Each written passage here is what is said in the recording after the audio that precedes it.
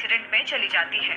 ऐसे में खुद की सेफ्टी के लिए हेलमेट पहनना काफ़ी ज़रूरी है, क्योंकि बिना हेलमेट के रोड एक्सीडेंट होने पर मौत का रिस्क काफ़ी ज़्यादा बढ़ जाता है। दरअसल टू व्हीलर चलाते समय होने वाले एक्सीडेंट में ज़्यादातर मौतें सिर में लगी चोटों की वजह से होती हैं।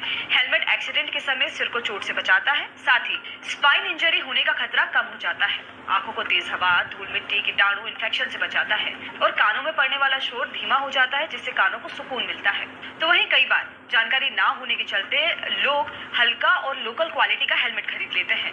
लेकिन क्या आप जानते हैं कि ministry of road and transport के मुताबिक हमें हमेशा अच्छी क्वालिटी वाला हेलमेट ही लगाना चाहिए। हेलमेट आईएसआई मार्क वाला होना चाहिए, जो 20 से 25 एम mm मोटा हो, जिसमें अच्छी क्वालिटी का फोम हो। साथ ही ब्यूरो ऑफ़ इंडियन स्टैंडर्ड के मानकों के अनुरूप बना हो। बीआईएस के नियम के अनुसार हेलमेट का वज़न 1.2 केजी से ज़्यादा नहीं होना चाहिए। साथ ही हेलमेट में कोई ऐसा निशान बना होना चाहिए, जिससे अंधेरे में भी वो चमके। अगर आप अवैध हेलमेट पहनते हुए पकड़े जाते हैं तो आपका हेलमेट जब्त भी किया जा सकता है। साथ ही कई बार ये देखा जाता है कि चालक तो अच्छी क्वालिटी का हेलमेट पहनते हैं, लेकिन जो व्यक्ति पीछे बैठा होता है, वो कमज़ोर और लोकल क्वालिटी वाला हेलमेट पहनता है। ये करना भी काफ़ी हद तक गलत है, क्योंकि छोटे या कमज़ोर टोपी नुमा हेलमेट पहनने से दुर्घटना में ब्रेन हेमरेज होने का खतरा रहता है।